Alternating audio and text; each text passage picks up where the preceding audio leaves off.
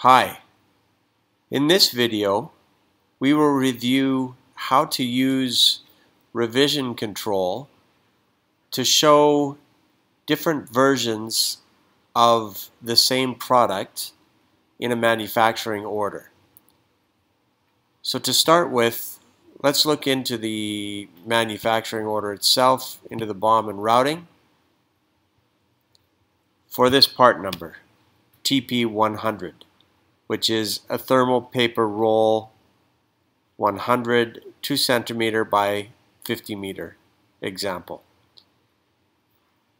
In this scenario may be that you have a customer that from time to time wants to order this thermal paper roll in the same dimensions but have some color variations or printing variations on the paper roll itself.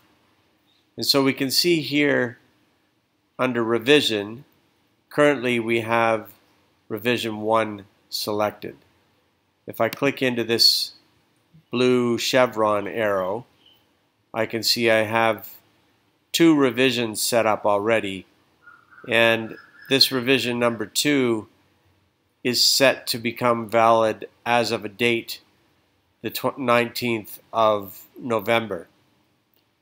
If I click into here,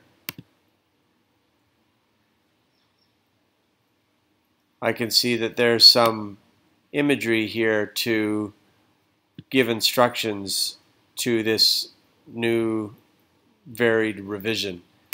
Um, if I wanted, I could actually add text underneath here to give more instructions and then close it. So revision 1 is the same and you see that I've given some instructions here already. So from here now if I go ahead and register a manufacturing order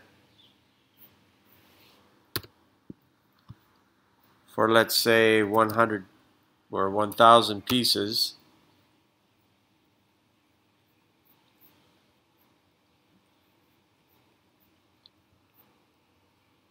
We can check to see that rev revision 1 is active. If I save this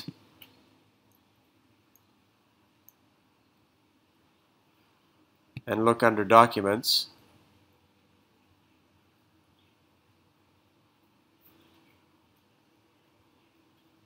that first revision is going to print along with its instructions.